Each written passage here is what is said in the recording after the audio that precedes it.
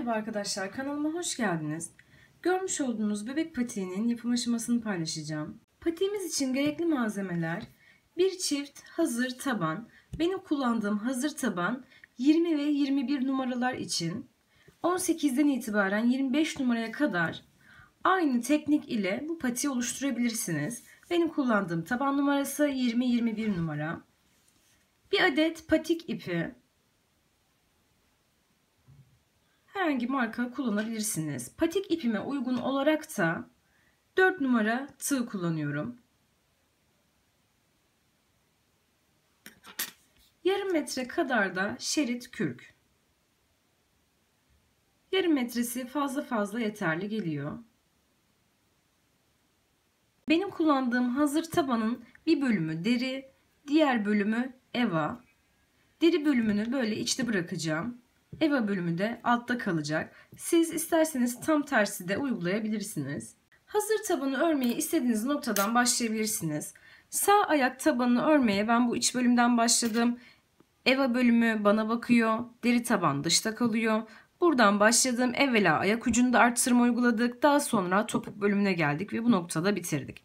Sol ayakta da yine aynı şekilde EVA bölümü bana bakıyor. Deri taban dışta kalıyor. Evvela topuk bölümünde artırma uygulayacağız. Daha sonra ayak ucu bölümüne geleceğiz. Yani burada uyguladığımız işlemin tam tersini sol ayakta uygulayacağız. Evvela bir ilmek oluşturuyoruz. Böyle geniş bir ilmek oluşturdum. Bu iç taraftan herhangi bir noktadan başlayabilirsiniz. Oluşturduğum ilmeği arasından geçirdim ve bu noktaya bağladık. Aynı noktaya tekrar batıyorum. Tığa doladım. Sık iğne uygulayacağız. Bakın 1 2 tığda 2 tane ikisini bir çektik aldık. Bu kalan ipi de iç bölüme saklayacağız. Bir sonraki boşluğa geçiyorum. Aralarda zincir yok. Bu ipi de burada saklıyoruz. Tığa doladım. Tığda 2 tane ikisini bir çektik aldık. Aynı noktaya tekrar batıyorum tığa doladık. Tığda iki tane ikisini bir çektik aldık. Şimdi topuk bölümünde arttırma uygulayacağız.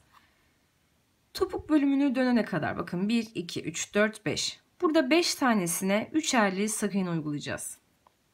Aralarda zincir yok. Bir sonraki boşluğa geçiyorum. Tığ doladım. Tığda 2 tane. Birinci sık iğne. Aynı noktaya 2 aynı noktaya 3. Bu kalan ipi de saklamış olduk. Fazlalığı kesebiliriz.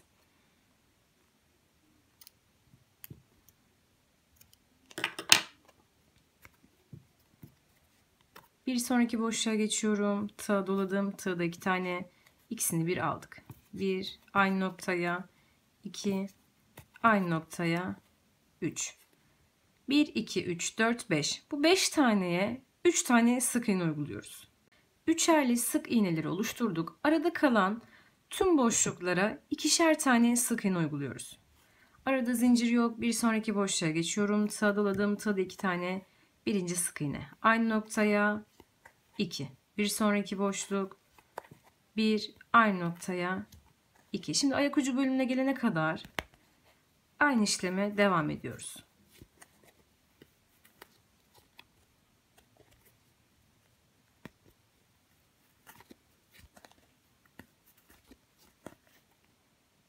Ayak ucu bölümünden de 1, 2, 3, 4, 5, 6, 7, 8. Bakın tam karşısına denk geliyor. Yani şu noktaya dönene kadar her bir boşluğun içine yine 3 tane sık iğne uygulayacağız.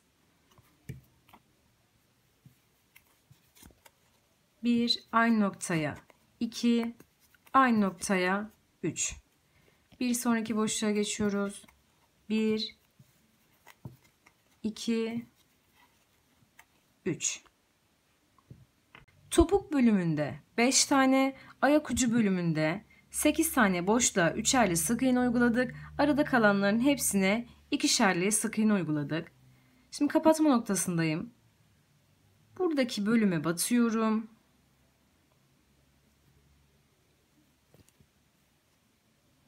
Buradaki boşluğa batıyoruz. Tığa doladım. Düz olarak çektik kapattık. Şimdi 1, 2. 2 zincir oluşturdum. Tığ doladım. Hemen dibinden başlıyoruz. Tığda 3 tane. Üçünü bir çektik aldık. Şimdi bir sıra yalancı trabzan oluşturacağız. İsterseniz ikili trabzan da yapabilirsiniz bu noktalara. Tığ doladım. Bir sonraki boşluğa geçiyorum. Tığda 1, 2, 3 tane. Üçünü bir çektik aldık ve yalancı trabzan oluşturduk. Tığ doluyorum. Bir sonraki boşluk. Tığda 3 tane. Üçünü bir çektik aldık. Bir sıra yalancı trabzan yapıyoruz. Dediğim gibi ikili trabzan da yapabilirsiniz. Tamamen size kalmış. Arttırma, eksiltme kesinlikle yok. Her bir boşluğun içine bir tane yalancı trabzan.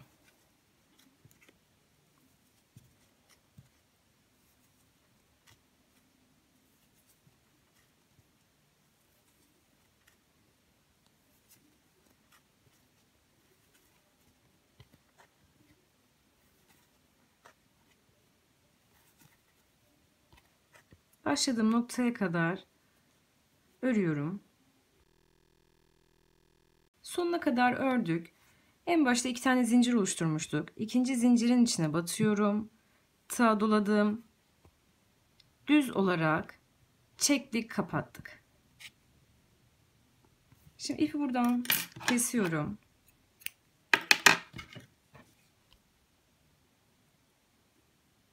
Kalan ipi ilmeğin içinden böyle geçirdik.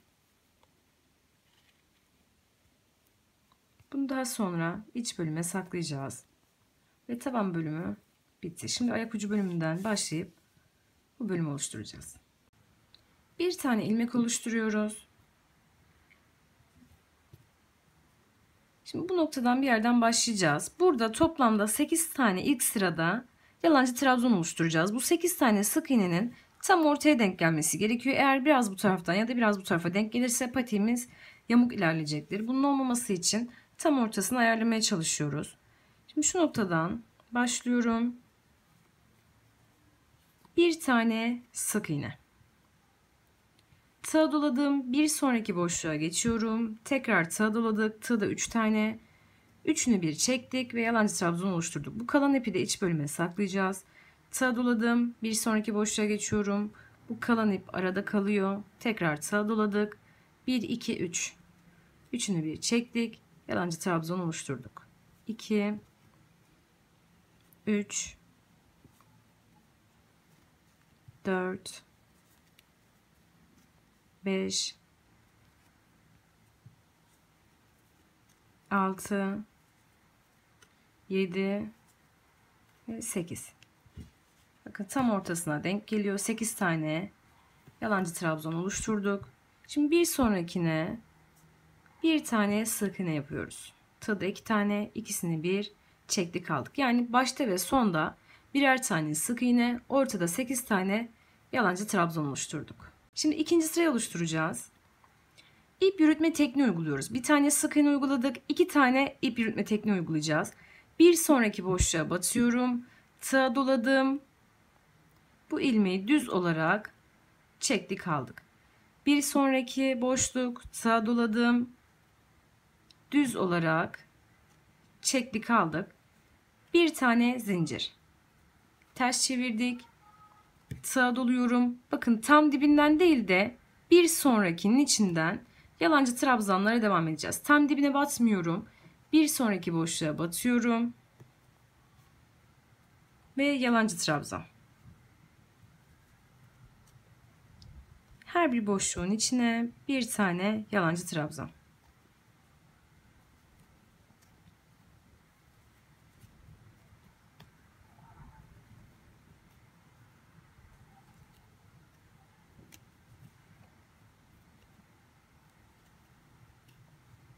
Bu noktaya kadar geldik. Bakın buraya da bir tane yalancı trabzan.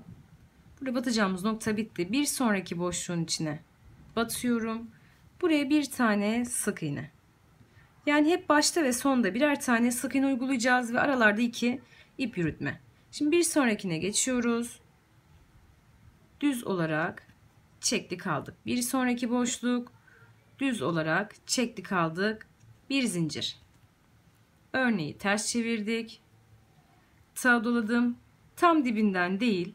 Bakın buradan değil bir sonraki boşluğun içine batıyorum.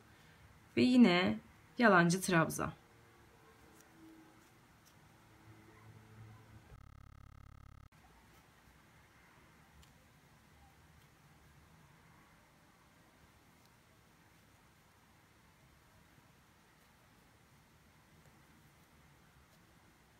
Her bir boşluğun içine bir tane yalancı trabzan uyguluyoruz. Sıra sonuna kadar. Bakın son noktaya geldik. Şimdi burada batacağımız noktayı tam ortası olarak belirliyoruz. Sağa doladım. Bakın normalde buraya bir ip yürütme ve bir zincir oluşturmuştuk. Bunun tam ortasına batıyorum. Sağa doladım düz olarak çektik kapattık yalancı trabzan oluşturduk. Şimdi bir sonraki boşluğun içine bir tane sık iğne. Bir bir sonraki boşluğa geçiyorum.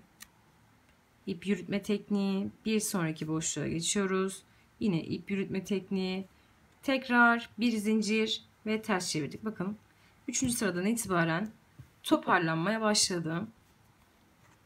Sağa doladım tam dibinden değil bir sonraki boşluktan yalancı trabzanlara devam ediyoruz.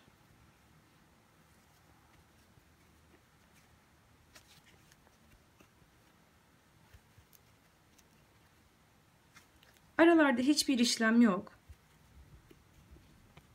Her bir boşluğun içine bir tane yalancı trabzan. Sıra sonuna kadar geldik. Sağa. Bu ara boşluğa batıyorum. Bu noktaya tekrar bir tane yalancı trabzan.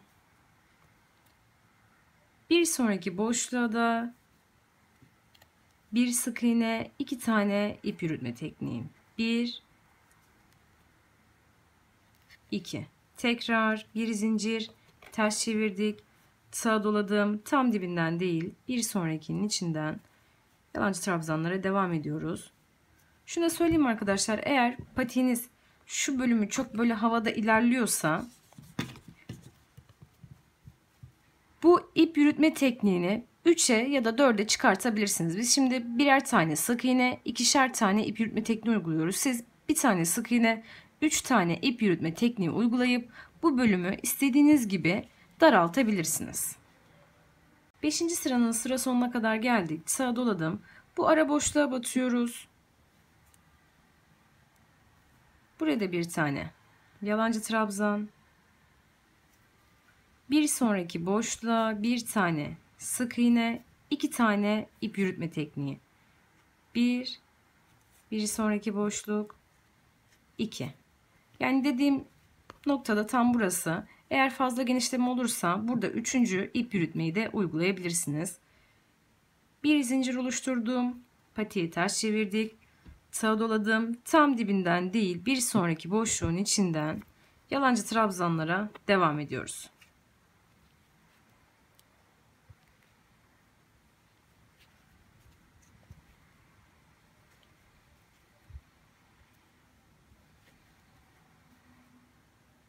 6. sıranın da sıra sonuna kadar geldik. Sağ doladım. Buradaki ara boşluğa batıyorum. Bir tane yalancı trabzan, bir sonraki boşluğa batıp bir sık iğne, iki ip yürütme tekniği. Bir tane zincir, tam dibinden değil, bir sonraki boşluktan yalancı trabzanlara devam ediyoruz. Patimiz bu şekilde ilerleyecek. Toplamda ben bunu 12 sıra ördüm arkadaşlar. Şu en başta oluşturduğumuz yalancı trabzan haricinde toplamda 12 sıra. Siz istediğiniz gibi ayarlayabilirsiniz. Sistem hep aynı. Şimdi bunu öreceğiz. Daha sonra arka bölümünü oluşturacağız. Patiğimizin ayak ucu bölümünü ben toplamda 12 sıra ördüm. Siz isterseniz 14 sıra ya da 10 sırada da bırakabilirsiniz. Sonuna kadar aynı işlemi uyguladık. Son sık iğneyi uyguladım. Buraya bir tane ip yürütme tekniği uyguluyorum. Normalde hepsinde ikişer tane ip yürütme tekniği uyguluyorduk. İpi buradan kesiyorum. Bu kalın ipi böyle iç bölümden geçirdim. Bunu buraya bağladım. Aralarından bu ipi gizleyeceğiz.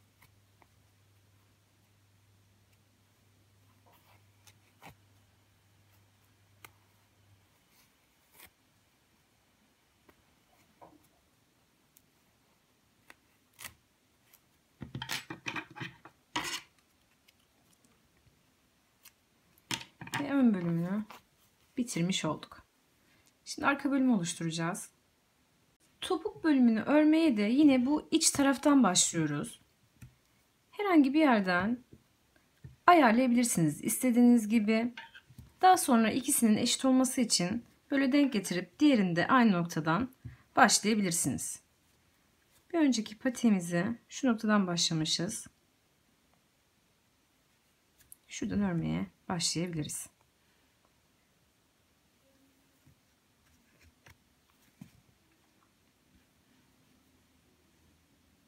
Yine ilmek oluşturdum.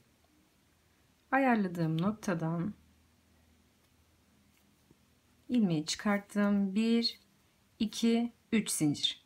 Tığ doladım. Şimdi bu arka bölümünde ben ikili trabzan yapıyorum.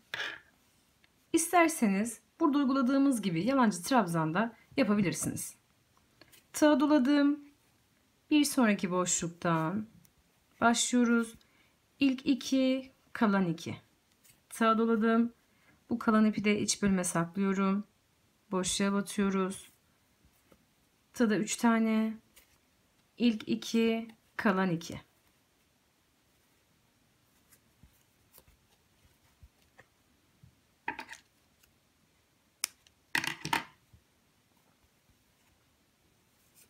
Artırma eksiltme kesinlikle yok. Her bir boşluğun içine bir tane ikili trabzan. Zaten kendinden bu bölüm toparlanmaya başlayacak.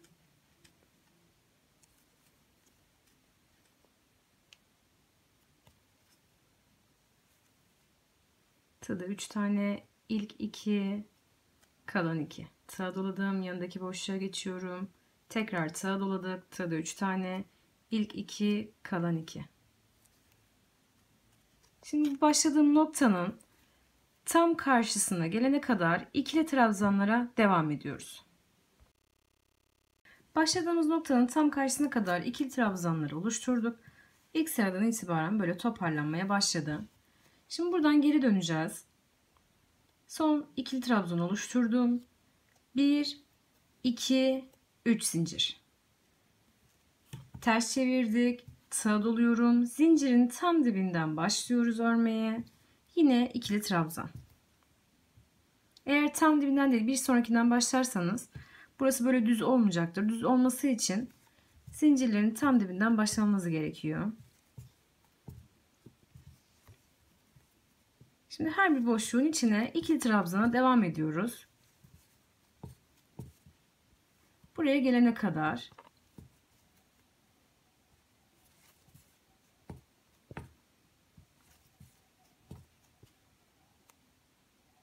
İkinci sıranın da sıra sonuna kadar geldik. Sıra doladım. Burada 3 tane zincir oluşturmuştuk. Üçüncü zincirin tam tepesine batıyoruz. İkili trabzan.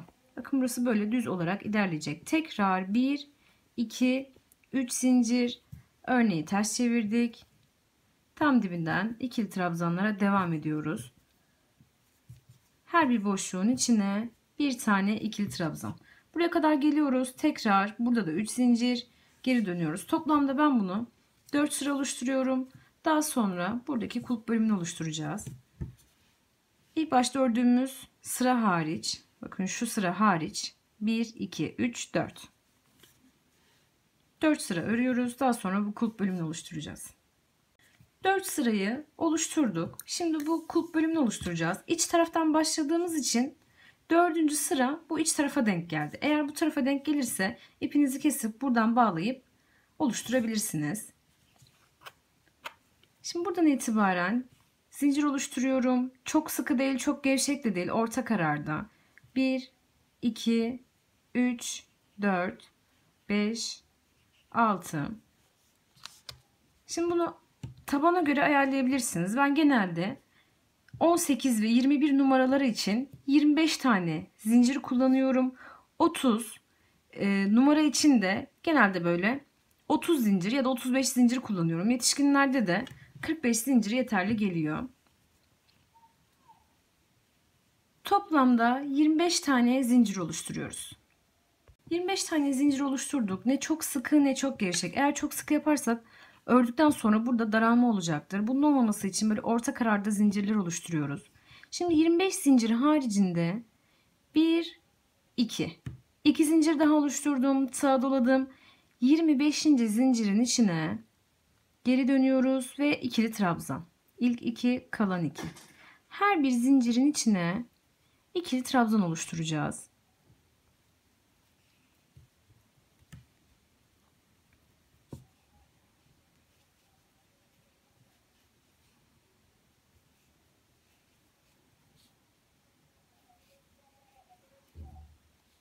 Şimdi sonuna kadar ikili trabzanlara devam ediyorum. 25 tane zinciri böyle doldurduk. Buradan itibaren örmeye devam ediyoruz. İkili trabzanlara devam.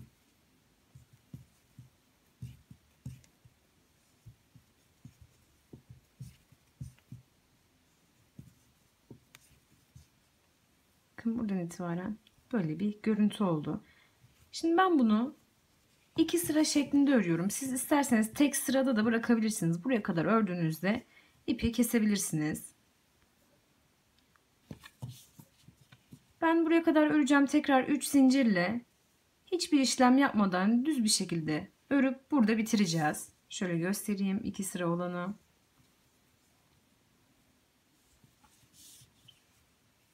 Örmeye devam ediyoruz.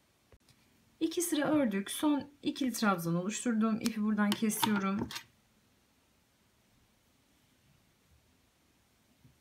Yine bu fazlalık ipi iç bölümlerinden yürüterek fazlalığı keseceğiz. Bu bölüm için sanırım videonun başında söylemeyi unuttum. Böyle çıt çıtlar kullanıyorum. Bunları tuhafiyelerden, terzilerden temin edebilirsiniz.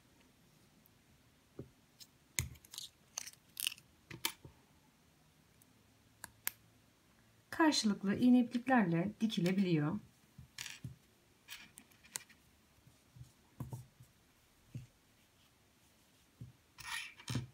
Şerit kürkü de böyle patimizin ön bölümüne göre ayarlayıp kesiyoruz.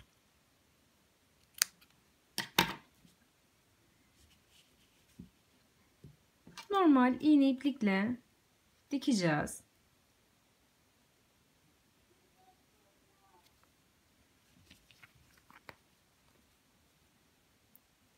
Küçük küçük böyle tel alır gibi dikiyoruz.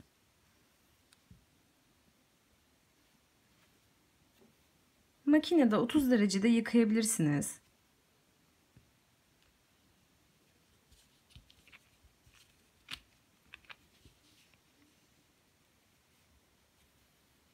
Dikim aşaması da bu şekilde.